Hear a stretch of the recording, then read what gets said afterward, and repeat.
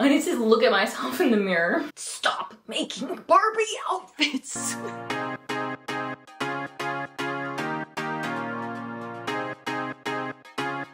So I've heard that there are 40 costumes that Margot wears as Barbie in this movie. And I know I said that I was going to make them all, but I just don't know if I can. Honestly, it's not I don't know if I can, it's I don't know if I should for my financial and mental health. But we'll see.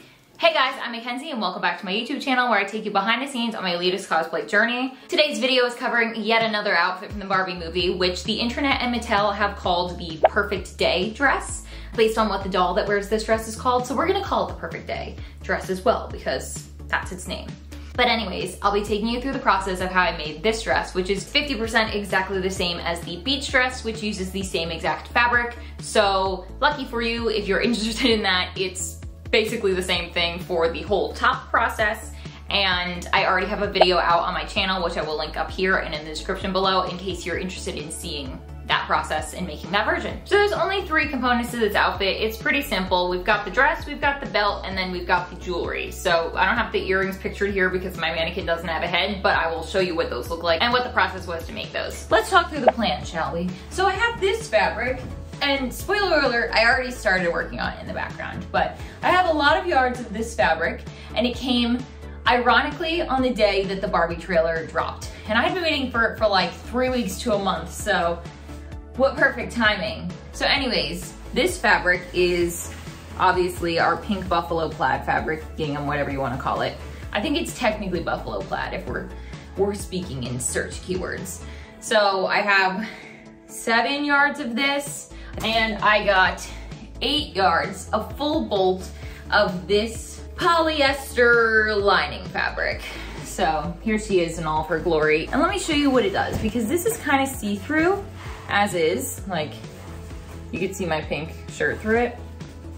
But if we line it, it makes the colors look more saturated. So that's the plan. Just do everything and just line it with this. And I am notorious for not lining things and not knowing how to line things. So this is gonna be a step forward in my sewing journey. And I gotta say guys, I think that this fabric is the exact same one that Margot's dresses are made out of.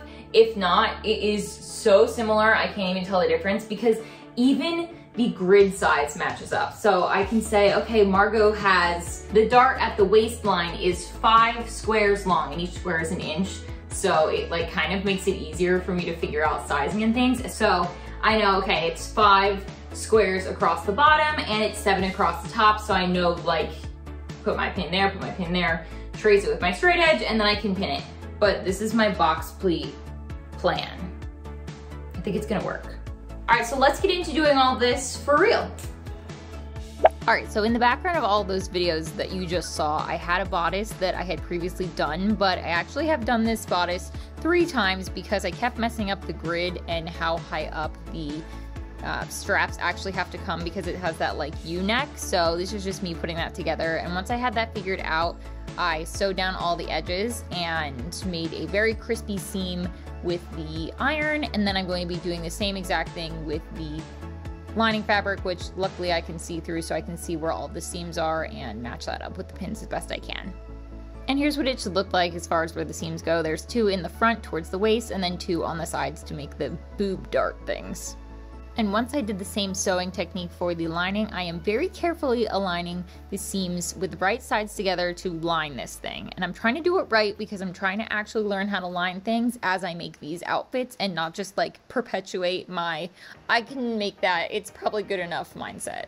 And while this was still on my mannequin, I went and I traced out how I wanted the neckline to be and then just sewed over it. And it was so easy to make it symmetrical because of the grid pattern. It was like so much easier than normal.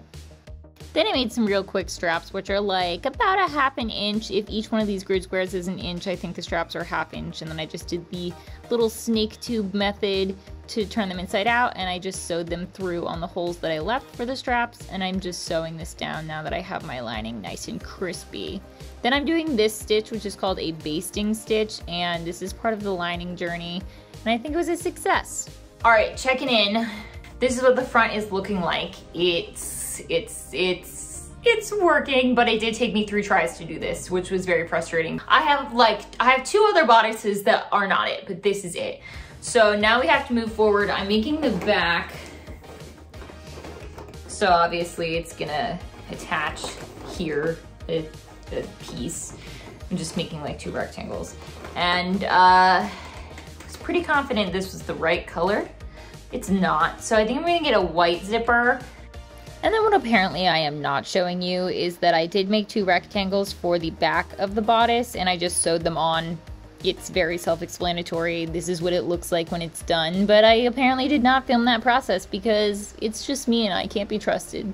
Now I'm moving on to making the skirt, which I believe is using six yards of this fabric and I'm just lining it with my white lining fabric and using all of these wonder clips to keep it together before I go ahead and sew it down because I don't want these two pieces separating as I'm pleating them because it just will be confusing.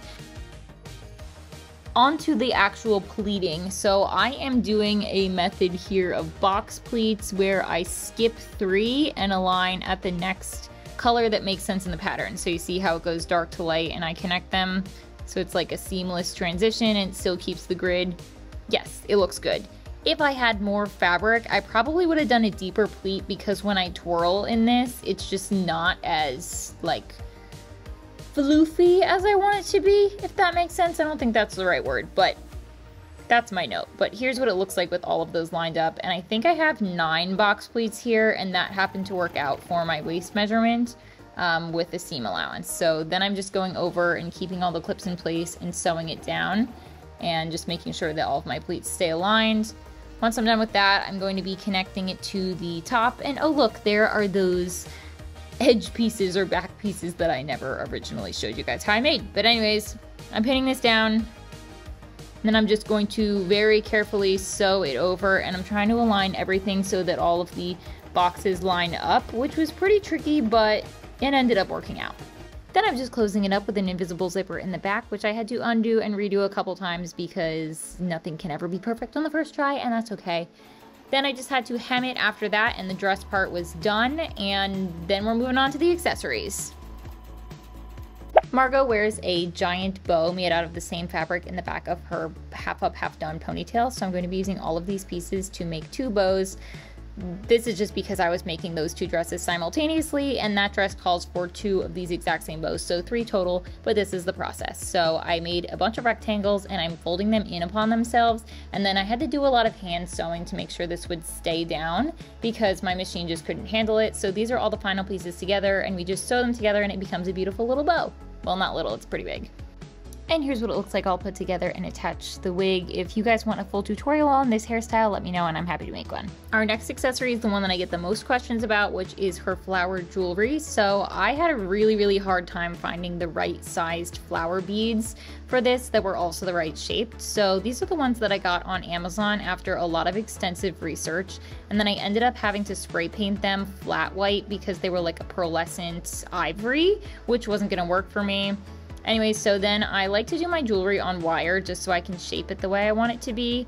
I'm going to be using these light pink beads for inside the center of each flower. I think Margot's realistically are probably molded out of clay or plastic. I just couldn't find anything close enough and I didn't have time or patience to mold clay beads to be exact. So this works for me. This and this is the screen accurate belt buckle that they used on Margot's outfit. And I, it's unbelievable that I was able to find that on Etsy. And I tell you in advance that I am sorry. I think I got the last one. As for the belt construction, I just got a one and a half inch belt at Joann's, made a little enclosure for it out of the same fabric, and I'm going to be using the screen accurate pearl belt buckle and just adding some closures in the back. The only thing I didn't make for this was the petticoat situation, so We've got a couple layers here. I don't know if you're gonna be able to see her. Let me move her up. So we have our top layer, which is our regular buffalo plaid fabric. We have our lining that's attached to the dress. And then I have all these little skirt situations that I bought under. I have this pleated situation. It's just cute and lightweight. These are from Amazon. Um, it has a underskirt and then I have two knee-length tulle skirts. So they each have two layers of tulle you can easily make these. I just bought them because they were cheap on Amazon and I needed them for an event that I was going to. I think I made this dress in April and I was going off of like the back of her of like the waving shot from the back of the first teaser to figure out the length and then like the couple shots from the next teaser where you see like Margot brushing her hair in front of the mirror. And then of course once the actual trailer came out I realized that this is like much more puffy so hence we added all of the, the petticoats underneath. So like I said, I made this dress originally back in April, and when I'm releasing this video, it's July, like the end of the first week of July. The movie still doesn't come out, but I have a lot more information on what the dress actually looks like. So this is what the dress looked like when I did the first initial photo shoot for it before I realized that it needed to be taken up on the hemline and add all of the puffy tulle skirts underneath. So we were doing the best that we could with the limited information we had and at that point I thought I was going to be able to release this video to the public but that's why it's been on hold because as I was editing it the new trailer came out and I was like oh I was way off but that's fine Let's get into the actual reveal of the full and completely updated version of the dress.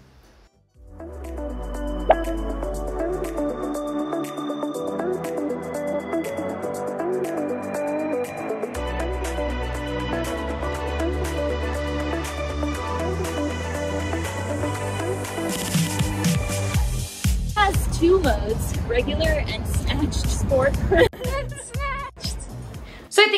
cover everything, but if I missed something and you have a question, drop it in the comments below or you can DM me on Instagram at CostumeKenz and I'd be happy to help. But otherwise, thank you guys so much for watching my video and don't forget to like this video and subscribe to come back for more Barbie content because it's inevitable that I will be making something else from this movie because I've already made five and at this point I feel like we're too far gone so we must proceed.